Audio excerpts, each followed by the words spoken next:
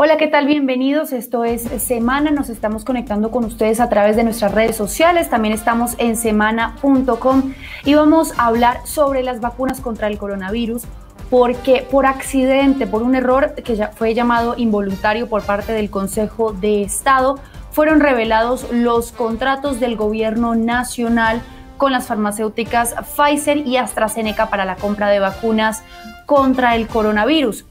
Vale recordar que estos contratos eran confidenciales y la razón por la que el Consejo de Estado los tenía era por eh, una acción judicial que se estaba llevando a cabo, que todavía no está finalizada, de hecho todavía está en proceso, de unos colectivos de abogados que estaban solicitando tener acceso a esta información por tratarse de recursos públicos, pero de nuevo hay una cláusula de confidencialidad con estas empresas que impide revelar los precios y era parte de los acuerdos. Ahora pues hay rumores sobre las posibles consecuencias que todo esto podría tener pero para analizar un poco y entender realmente, real, realmente, valga la redundancia, qué eh, impactos pueden venir después de estos documentos revelados. Invitamos a Diana Rocío Bernal, ella es profesora titular de la Facultad de Jurisprudencia de la Universidad del Rosario. Diana, gracias por estar acá con nosotros. Muchísimas gracias a ustedes por la invitación. Bueno, Diana, Mm, para las personas que nos ven y que de pronto, pues como la mayoría de las personas seguramente no entienden mucho de este tema, ¿de qué se tratan las cláusulas de confidencialidad y por qué el gobierno se había negado y se sigue negando a negar cualquier información relacionada con los precios que pagó por cada vacuna contra el coronavirus para esta pandemia? Bueno, mm, recordemos que eh, la compra de las dosis de las vacunas para el COVID-19 se hicieron a través de acuerdos entre las farmacéuticas y los gobiernos de los distintos países. En últimas, em, las cláusulas de confidencialidad en, estos casos buscaban garantizar, por un lado, el secreto alrededor de, la, de cierta información, entre otra, el precio de los de los medicamentos. Y en el fondo, esto tiene una razón de ser y es el poderle permitir a las casas farmacéuticas negociar de distinta forma los precios dependiendo del país comprador. Digamos que esto es un, hecho evidente a lo largo del, a lo largo del mundo. Eh, y de alguna manera mm, esto pone en desventaja a los estados a la hora de poder establecer un precio de negociación. Pensemos, si Colombia negoció determinado precio, eh, en principio el revelar esa información puede beneficiar a los países de la región para tener una negociación en los mismos o bajo los mismos estándares.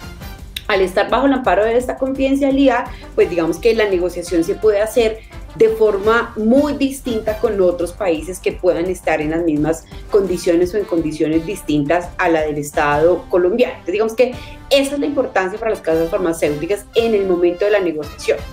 Y la pregunta es si en este momento, cuando en todo caso ya están compradas las dosis, ya está pagado el dinero, porque ya hemos iniciado la ejecución, de hecho ya vamos muy avanzados en el plan de vacunación, eh, si es todavía o se justifica todavía el, el mantener esas cláusulas de, de confidencialidad. Claro, el gobierno finalmente las mantiene en tanto que es una obligación contractual, es, algo a lo que mm, debió someterse para poder tener la negociación. Y ese es un punto, digamos, sobre el cual se ha mantenido el Estado, el gobierno colombiano, y particularmente pues que lo han defendido los ministerios y la unidad de gestión del riesgo, que es la que ha estado como un poco en, en medio de todo este debate. Y en ese orden de ideas, mm, de que es algo que está en el papel, firmado, ¿usted considera que las farmacéuticas podrían, si tienen las intenciones, si ellas quieren, tomar alguna acción en contra del Estado? Desde mi perspectiva no creo por dos razones. Mm, la primera porque el Estado colombiano eh, o el gobierno, digamos que la unidad que es la, que firma el, contrato, ha hecho todo lo posible por mantener la confidencialidad, digamos, en todo caso. Y lo segundo, porque en todo caso, eh, la orden de revelar, claro, pues en este momento estamos hablando de un error involuntario, pero planteemos que en todo caso se vaya a ordenar la revelación como lo hizo el tribunal en su momento, eh, obedece a una orden judicial. Entonces, digamos que el Estado tampoco, el, la unidad de gestión no, podía, no debería ni podría saltarse una orden judicial en este sentido. Y entre otros casos también está de por medio pues, un derecho fundamental que es el derecho a la información, el derecho a la transparencia y el tema de los recursos públicos que están, eh, que están de por medio. Mm, decir que se pone en peligro el plan de vacunación y que esto hará que las farmacéuticas tomen represalias, primero me parece que es crear un pánico que no necesariamente debe darse, no va a ser necesariamente una acción que puedan tomar las, las farmacéuticas. Yo creo que en esto estamos especulando al hacer ese tipo de, de afirmaciones. Y, eh, y entre otras cosas, también hay que recordar que las casas farmacéuticas de los contratos que se revelaron no son las únicas con las que hemos hecho contratos, es decir, hay otras vías también de, de inclusión. Y, eh, y, tampoco esto necesariamente va a afectar la disponibilidad. Fíjense que eh, aquí se está cuestionando que ahora qué vamos a hacer con Pfizer y resulta que ya hemos tenido, hemos visto por la experiencia, por ejemplo, que eh, no han llegado muchas dosis y que las personas están quejando porque no tenían las dosis de Pfizer. Entonces digamos que también se está especulando un poco y se está generando quizás un pánico que no necesariamente tenga o vaya a darse.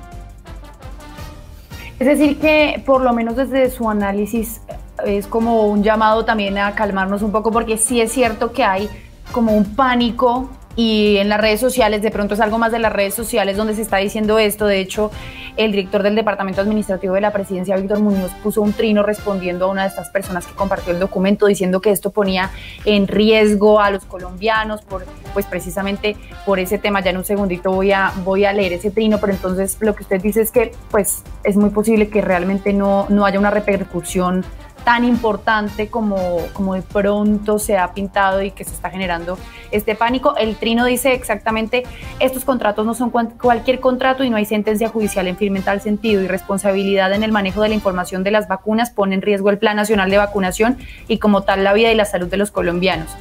Eh, eso es precisamente lo que decía usted. Exactamente. Yo creo que eh, Claro, eso evidencia sin duda alguna la vulnerabilidad en términos de la custodia de la información por parte, por ejemplo, de, nuestro sistema judicial, que tampoco es nuevo, ¿no? Es decir, no es que vamos a decir que solamente en el caso de los contratos se ha revelado información. Esto ya lo hemos visto a lo largo del, eh, digamos, de, muchas experiencias de información que se filtra de procesos. Y lo otro es que eh, decir que se pone en riesgo el plan de vacunación y la vida de los colombianos, mm, digamos, yo creo que esto es, eh, esto no es necesariamente una afirmación muy proporcional. Si uno hace, de hecho, si uno hiciera la relación entre la necesidad de mantener la confidencialidad y proteger la vida de los colombianos, eh, no estoy tan segura que la confidencialidad sea la vía para proteger. De hecho, fíjense que hasta la semana pasada todavía se estaba debatiendo en qué vamos a hacer para que las personas se vacunaran, si incluso se requería una vacuna obligatoria o no y hoy ya estamos diciendo que entonces mm, por eso no vamos a tener vacunas. Yo creo que estamos generando un pánico que no es necesario y que debemos enterarnos en las cosas que son fundamentales, por ejemplo, todavía el plan de vacunación, que es hacer efectivo el, plan de vacunación, que lleguen las dosis a los lugares que tienen que llegar y que efectivamente la gente eh, de alguna manera pierda el miedo y se informe mejor sobre el mismo plan. Yo creo que sí se está generando por el momento un pánico que no es necesario. Hay que esperar a que eh, a que, digamos, hay que mirar las reuniones que se están teniendo en este momento con el, ministerio, con las casas farmacéuticas, lo que está terminando de pasar, que se resuelvan las acciones de tutela que todavía eh, están en curso. Creo que es generar sin duda alguna un pánico muy prematuramente. Bueno, pues eh, muchísimas gracias. Ella es Diana Rocío Bernal, profesora de la Universidad del Rosario. Gracias por esta claridad y ese llamado también a calmarnos un poco y a esperar las verdaderas conclusiones y no especular tanto. Muchísimas gracias por su tiempo, profesora. Gracias a ti, que estés muy bien. Gracias, hasta luego y a todas las personas que se conectaron con nosotros. Esto es Semana, encuentran más información en nuestra página web en semana.com y por supuesto les estaremos informando de todo el desarrollo de esta noticia. Hasta luego.